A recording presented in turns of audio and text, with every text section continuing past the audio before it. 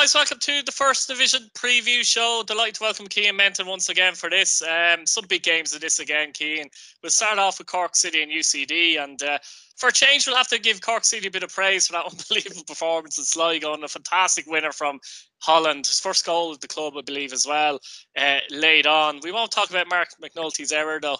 Uh, that that uh, opened the scoring for Sligo. They got away with it. But a big game at UCD themselves had a fantastic result, Cian, because that was Shelbourne's first defeat of the season, the 2 0 win. Uh, so both teams to be going into this a bit buoyant, I suppose. How do you see this one go? Yeah, oh, I'm not gonna lie. I was rubbing my hands together when I say McNulty slipped that. Uh, the catch and the thing that made it funny was well, I, I, don't mean to say funny was that should be an easy catch now for McNulty. And now he's dropped it. and I was just like, oh, yes. There was, there was genuine uh, shock from the Sligo commentators, wasn't there? Yeah, I'm really shocked. It was an easy catch. Uh, here, really, they got away with it. But look, a massive performance that was. And I think that's that bit of bottle that I was talking about. That's that bit of balls that I think Cork City haven't had for years. So to see it coming out now, only in glimpses against Sligo, but you know, to win the game. Though, the question, yeah. Yeah, and you know, three two, brilliant. I'm delighted for them. Uh, I'm looking forward to the next round. Uh, should be a good one.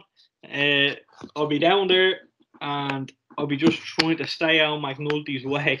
But now the opposite goal I, for each half. yeah, now look, I genuinely think it's going to be a massive game on Friday. Both sides coming into it now two massive wins, as you said, in the cup, which is going to kick them on now. One of them, someone's going to come out unhappy about them on Friday, but I fancy UCD to win it over Cork, and I'm going to go UCD here. Yeah, I mean, as I said, both teams had great wins in the cup, and um, I suppose UCD a bit overshadowed with the 2 0 win over Shelbourne. But as I said, Shelbourne had lost all season, to be fair, um, but lost that one. Probably won't do Shelbourne any harm. We'll get on to them later on because they can fully focus on getting promoted now, which is the main thing. But um, yeah, I don't know. I think I think I've got to do a bit of a sit in the fence again, Cian. Here, honestly, I can't separate them. I expect Cork to. Um, not go back to type, let's say, and um, get something out of this game. And hopefully, from UCD's point of view, you can see them performing as well. It could be a good game, actually, but I'm going to go for a draw. Uh, Athlone Town and Treaty. Another draw. Another draw, I know, yeah. Might as well put them all down as draws. Athlone Town and Treaty, and obviously Athlone Town were involved in a humdinger. And uh, I suppose we have to talk about Glen McAuley. I have to laugh, Cian, because I didn't know Glen McAuley had signed for oh, Athlone, oh, really? genuinely genuinely didn't know he'd signed. And next thing I seen on the thing he'd scored goal, I was like, what? When did he sign? You know what I mean? For Shelbourne or for Athlone from Shelbourne. But I was actually delighted with him. He obviously scored a hat trick. And um, that goal, you know, to score that goal, a 4 3 with the last kick of the game, serious quality. And I was delighted for him because um, I want to see Glen McAuley kick on. We know he came back from Liverpool. He struggled at Pats, struggled at Bohs, didn't get a look in the shells. Let's hope Glen kicks on at Athlone now, though. Yeah, look, what a game. Uh, and what a way to introduce yourself with a hat trick. Look, I, I just, I dread to think of the abuse he'd get in that dressing room. Last kick of the game to go for that if he missed it. I'll be honest, I dread to think. Imagine, imagine. But, but, did he have time to do anything else? That's the question, Cian. Do you know what I mean? Yeah, I'm, I'm not sure he did. Mm. But to just see all the players running forward at that minute in time. It's like rugby. You know, and for him to just lump it. Now look, yeah. I won't say just lump it because no. it was technique. Yeah. It was precise. It was unbelievable. What a strike! I'm delighted for him. It hasn't worked for him in Ireland since he came back from Liverpool. Uh, he hasn't got a chance. He he got his chance early on the season with Shells, got himself sent off had a little few games or two in in and out of the side. Didn't really do much, mm. but you know this is this is his fourth club now here, and since 2019. And look, I know the league is a merry-go-round, but it's a bit much. Uh, so he, he'd want to settle down now and he'd want to get a good performance in. Uh, that loan suit him, Cian. Adrian Carberry is known as a good man manager as well. Not saying the other managers weren't, but yeah, yeah. Look, it it's tough. It's tough to say. Now, like you'd like to think Stevie O'Donnell at Pat would have been the same with him. You'd like to think Keith Long and Trevor Croly would have been the same at Bohs. You'd like to think Ian Morris would be the same as Shells. Is he better and, off you know, though being seen as I don't know a big fish as such? Maybe that will suit him better being at Athlone. You know what I mean? Maybe a team that obviously aren't at the level of the other teams, if we're honest, at the moment yeah, of time. Yeah. Is it possible that suits him better for now? Anyway. Yeah. For now, yeah. Look, he, mm-hmm. he likes the limelight. There's no doubt about it. He likes you know, he, he likes that part. He likes being the main man. In my opinion, that's the vibe I get off him. I'm not saying that's negative. I'm not saying he's wrong. I'm not saying anything like that. But I'm saying that's what he likes, in my opinion. So you know, I think he, he would suit. He'd suit Athlone for that because I think he will be probably the star man. He will be the man that they're gonna look to, as well as Meany, as well as probably down on off the wing. You know, they're gonna look to these players. So Curtis and stuff. So they're gonna they're gonna try and use him now, and you know he has a chance here to get himself a decent move if it goes well, and you know this is a, a big opportunity for him because if I think if this goes bad, I could see him fall out of the league. Yeah, I agree. Yeah. No, hundred percent. They've also brought in Connor Barry actually from Finn Harps, which looks like a decent sign in paper as well. So if they can keep their players fit, they could make a serious push into the playoffs here as well, couldn't they? Yeah, definitely. And before I even say, I'm saying that you might fall out of the league, but I don't want them to. I genuinely don't want. Them. Oh yeah, absolutely. Uh, like yeah. I, I really I think he's a top lad and a great player. So you know he, he's exciting and I seen him first time when he played with Pats. He was exciting. He was direct. He was good. So you know I think he he has everything there. He has all the tools to go and play. So you know Connor coming in is another good signing for them. So you know, that's been a good window for then. You know, I think, and look, they can easily go into the playoffs now. Like, they can easily finish in it. In my opinion, they just need to keep what they're doing, though. You need to keep it up.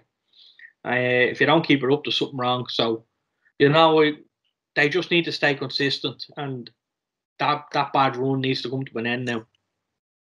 Yeah, Treaty as well. Obviously, they're joint uh, second to lead with Galway, and uh, they did put it up to Dundalk. That said, uh, Ty Ryan made some very good saves in that match as well to keep them in it. But they did show at the same time how difficult they are to play against, even for a side like Dundalk. Yeah, they were excellent in the game. Very organised, very direct, and they weren't expressive or anything. They weren't they weren't playing. They're not a team like I said that, play, that are playing stuff and they're saying, "Geez, you watch this all day." Because they're not. They're the total opposite. But you know they're getting results. They're getting wins. Uh, they ran Dundalk close, and it just tiredness. Exactly. Yeah. Yeah. And Dundalk just came out on top. And look, there's no harm in that. There's no shame in that. Uh, I think they'd they'd make a they they do well in the cup now, in my opinion, if they were still in a treaty, because I don't think many teams would have the quality to beat them or break them down. So, you know, I'm surprised to see them go out so early. But look, but when you get a draw like Dundalk, it's always going to be an uphill task. But you know, really positive from Treaty, second in the table at the minute, well, joint second, and you know, I think they'll uh, they'll be a tough one here. I'm gonna go Treaty here. Ooh, I'm actually going to go Athlone. I think that might surprise a few people here and uh, score a couple of goals. So Athlone for me to win this match. On to Shells and Cobh, and we spoke about Shells, and uh, I don't think they'll be too disappointed losing that cup match. UCD in reality, to be honest with you, they signed Malloy no. this week as well. I mean, if they need to get any stronger, there's another player in for them as well. Um, Cobh, I suppose we have to talk about Cobh and the fact that Stuart Ashton essentially was let go by the club, and Murphy has come in, and now he's manager of the club surprise for you, or um, how do you see that one? Yeah, I was. To be honest, I thought he was very harshly let go. In my opinion, mm. uh, I know I know coaches and stuff like that down there. Now I haven't spoken to them about the situation at all, but yeah. uh, you know it'd be they're they're all gone with him as well. So I, I just thought he was a little bit harshly done by a Cobh. Six points behind the playoffs. Opinion. Not too bad. No, not for a club like Cobh, you know, considering you look where Cork City are. Uh, so, you know, that, that that was my opinion. Now, I I always thought that they were a club going the right direction. Maybe they weren't happy with how slowly it was probably progressing for them. Mm. But you know, I think they'll do well to get better than they had this season. I still think they'll finish in around six points off it. Uh, I can't really see them going for it. But now is an opportunity for them. I, I don't say I, am not agreeing with it. I'm not, you know, I'm not disagreeing with it, but I'm saying now is an opportunity now for the new man to come in, have a couple of months under his belt, have a crack at the playoffs, and then next season maybe you know try and cement your spot in them playoffs and try and go and compete. So you know probably in to- I might be harsh on Stu and stuff like that, but mm. You know now they have a couple of months now to get the house in order uh, with the new manager and see how it goes. But you know I think they I don't think they'll win this one. No, I can't. I think Shelbourne are going to win this one as well. And um, to be honest, they brought in Malloy. I didn't really think they needed to make any additions to their squad, if I'm honest with you. But look, if I you can do it. Yeah, I didn't think so either. But, mm. you know, I, I, I'd be the opposite to you now. I think that, mm. that UCD result is going to hurt them. Uh, it's going to hurt them a lot, considering I, I'd be I'd be a bit sketchy playing Shells in the cup now.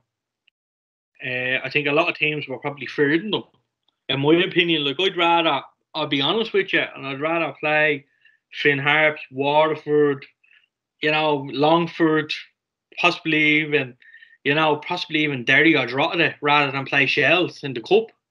So, you know, I think they were they were a feared side in the cup, and they were dark horses for me. So, considering they went out, I think that's going to hurt them a lot in terms of like the league. In my opinion, is wrapped up and they had a they had a great chance to focus on the cup and go and do something for them.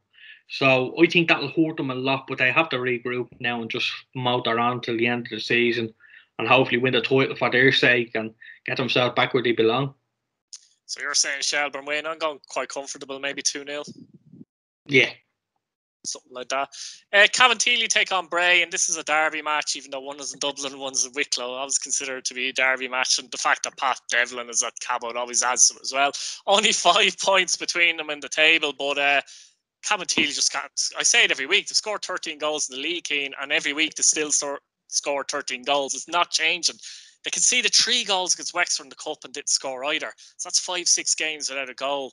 They're really, really struggling at the moment, despite being you know, five points outside the playoffs, aren't they? Bray, that was a bad result for them against Pats, and um, you know, six 0 Like you know, in fairness, Pats were excellent that match, and I actually think um, when I look back at it, that Pats could have played like that against a lot, some Premier Division teams, and there wouldn't have been a bit as big of a difference in scoreline. They could have beaten teams four or five nil playing like that. Do you understand? So I wouldn't, if I was Bray, I wouldn't look too harshly on that, to be honest. But no. it's still tough when you lose 6 0 and you have to go in and play Cabo away. Yeah, look, it's tough. Uh, I thought Pats were excellent in the game. Yeah. You know, I, look, it was it was easy for Pats. And, you know, Bray were chasing shadows for the whole game since the first goal, and that was tough. That was tough to take for Bray. I always expected a hammer. I expected Pats to. I didn't think it'd be six now. I thought it'd be two or three, but I thought it'd be still chasing. But you know it's tough. But Cabinteely, I I wouldn't be fearing them at all. I'm gonna go Bray to win this easy. Yeah, I think Bray are going to win it as well. I'll go for 2 0. It's just, I don't know, it's hard to see where the goals from Cabo are coming from. They're not even creating chances. As far I don't see all the games, but as far as I'm told, they're not creating chances. And uh, yeah, I think Bray will cement their place in the playoff and maybe even push up the table if they can get a get a win there. Finally, we've got Wexford and Galway, and uh, look, Wexford at the bottom of the table of five points. But no matter what you say, it was a great result to beat Cabo three 0 And Kyle Robinson and uh, Moylan, since he's come in, uh, Robinson is actually really improving as the season goes on, which is a good sign for for Pats as well, maybe in the future. But uh, those two are playing really well for Wexford at the moment, aren't they? Scoring goals, creating chances. Playing excellent. Uh, I thought big statement there of intent signing Ian Ryan to go down again. Yeah. Uh, giving them a new contract and just, that just gives them a little bit of stability. Uh, I think they're doing well. Look, a massive win in the cup. Uh, they got a fairly favourable toy as well for the next round. You'd like to think. Yeah. You'd like so, to think, yeah. You know, I think it. I think it's going to be uh, for all positive from Wexford now at the end of the season. I think a goal for them, possibly for me now, my opinion go over them as go off the bottom of the table if you can. Uh, you know, two or three wins and you find yourself in the mix again, and just yeah, I, I think it can be easily done, and I wouldn't be surprised to see them win this one. Yeah, I mean, yeah, I mean, I keep mentioning those two young lads, but in fairness, Jack Doherty's been playing really well in the middle of the park. Fitzgerald has added something to them, to be fair to the team, and I'd imagine just his pure leadership. Yeah, uh, he seems to be playing all right for them as well. But as for Galway, like I mean, you know, they were beaten 2 0 by Shamrock Rovers in the Cup. No big deal, really. They'll move on. They'll be looking to, I suppose, cement their place in the playoffs. So, second the league, unlikely going to win it, I think. But uh, you still need to keep up the standards, don't you, as the season goes on there, if they can, like, they can, like. Yeah, look, I think they're getting a lot of a lot of people, a lot of discontent about the club at this minute in time, and a lot of people saying they're not delivering.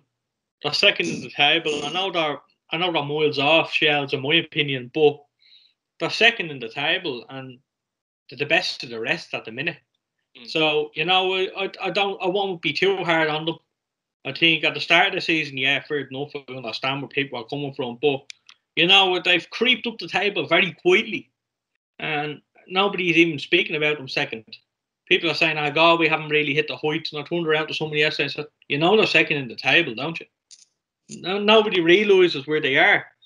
But you know, I just think there was a lot of pressure on them coming into this year, and I think yeah. over the course yeah. of the season they've handled it very well, and they've got themselves back up the table, finished second, and now we have you'd give themselves a fighting chance of at least playing in the first division playoff final before you play the Premier Division side, and then see what happens. And even at that, I think most of us thought to ourselves that next season is the season where they really get to judge and go for it, maybe as well. Anyway, now they could still go up, as you say, through the playoffs. But really, I think next season is the season you really look at them. They remind me of Treaty Cian with a few extra quality players, perhaps. That kind of stuff. Yeah, definitely. You know, I think they'll uh, they'll definitely go up there They'll be confident coming into this game, but I think Wexford will win this, in my opinion. That's an interesting one because I was thinking that as well, but I kind of went for a draw and sitting on the fence. But it's interesting, none of us went for Galway because I think a lot of people go for Galway there. Look, guys, thanks for watching. Like the video, subscribe if you're new, and hit your bell notification button so you don't miss a video. And we see you next time. Cheers, Gino. Thanks, bud.